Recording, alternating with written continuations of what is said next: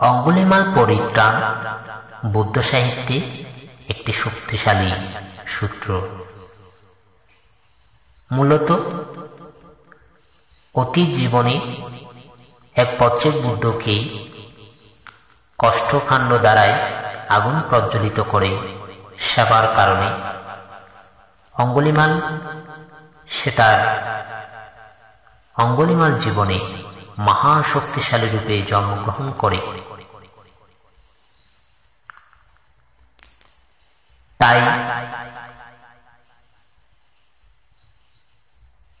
বুদ্ধ এক গর্ভবতী মহিলাকে তার রোগমুক্তি কিংবা নিরাময় প্রসবিত সন্তান দানে অঙ্গুলিমালকে আদেশ দিয়েছেন। তুমি গিয়ে যে সূত্রটি বাসন করবে, এ সূত্র দ্বারাই এই মহিলার সন্তান নিরোগী হয়ে জন্মগ্রহণ করবে।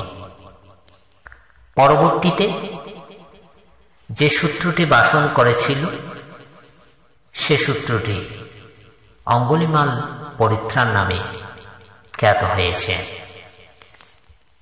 তাই যদি কেউ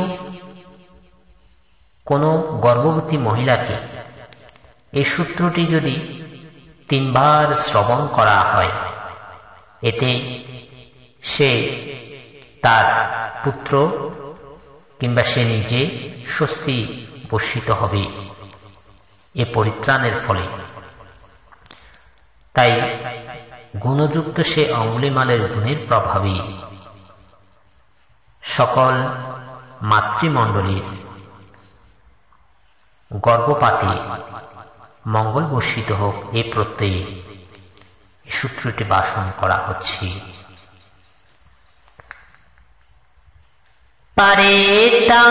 yang banantasa Nisinatana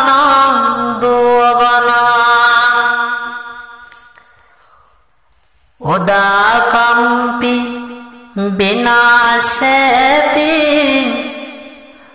सापमेव परिसयाम्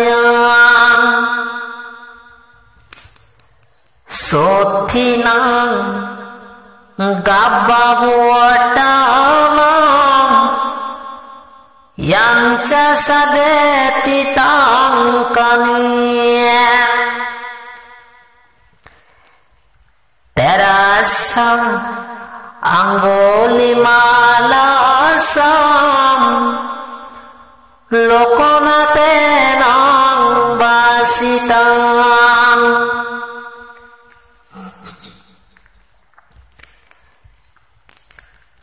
Kapatai mohatejam Paritang tang wanamoyam Ya Tuhan bagini ariyayam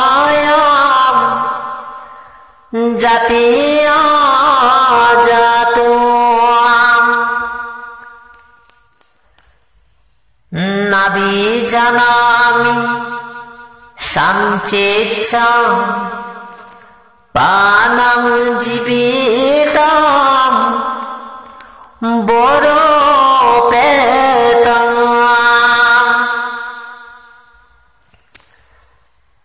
তেনা সচেন সোতে দেহ তো gabasang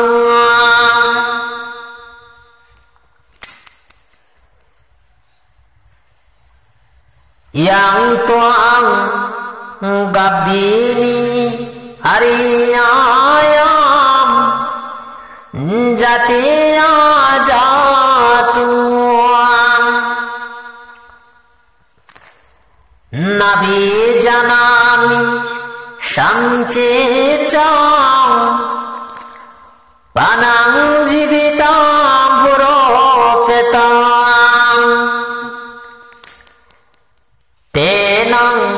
চেনা সতীতেন হত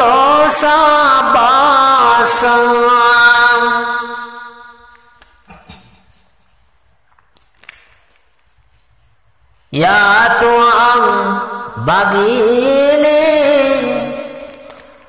আরে আয়া যাতে আজা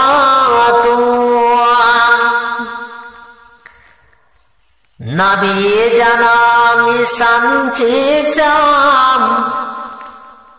পানাং জীবিত করো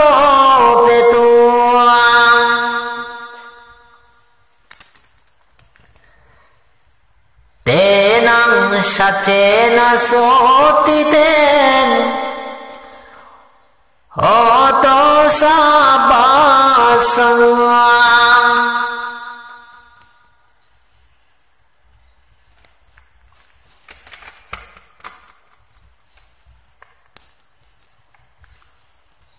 এতে নাম সাজে সমাজে নাম সাতিতে হত সাপদাম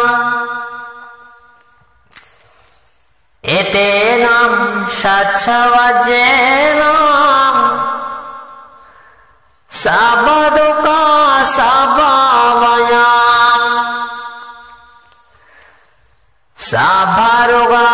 sabantarayam sabayupadava vilasatuam etenam satchavajeram hatute jayamangalam ti